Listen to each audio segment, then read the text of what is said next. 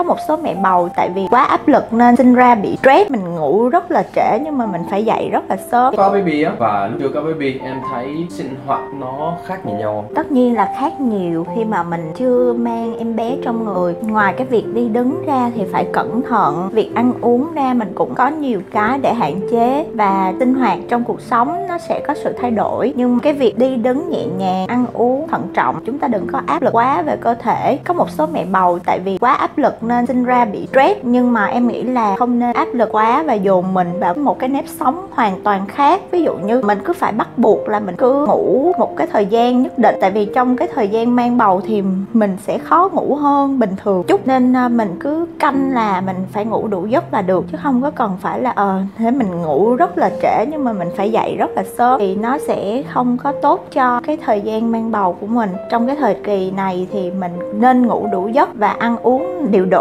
là mọi thứ sẽ có một cái ờ, nếp sống sinh hoạt nó tốt hơn và nó sẽ phát triển em bé một cách tốt nhất.